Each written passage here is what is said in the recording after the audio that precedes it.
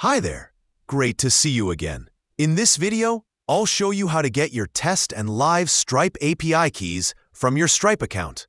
These keys are crucial for integrating Stripe payment processing into your applications. So let's walk through the process together.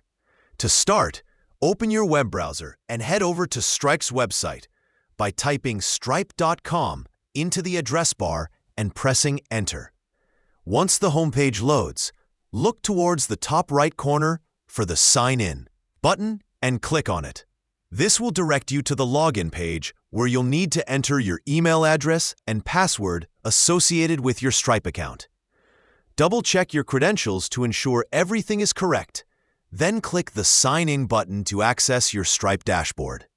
Once you're in your dashboard, navigate to the Home section. This is your central hub for managing tasks within your account.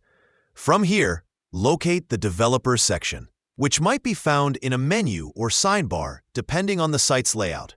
Click on Developers to enter the Technical Configurations and Settings area. Within the Developers section, you'll find an option labeled API Keys. Click on this to proceed to the page where your API keys are stored. Here, you'll see both your test and live API keys. These keys are essential for authenticating requests from your application to Stripe servers. It's crucial to keep these keys secure, especially the live ones, as they grant access to real financial transactions. To copy your API keys, simply click the corresponding buttons next to each key.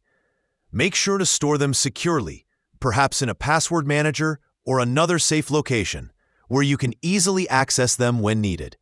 And there you have it. You've successfully located and copied your test and live API keys from your Stripe account. By following these steps, you've ensured your application is ready to securely connect with Stripe.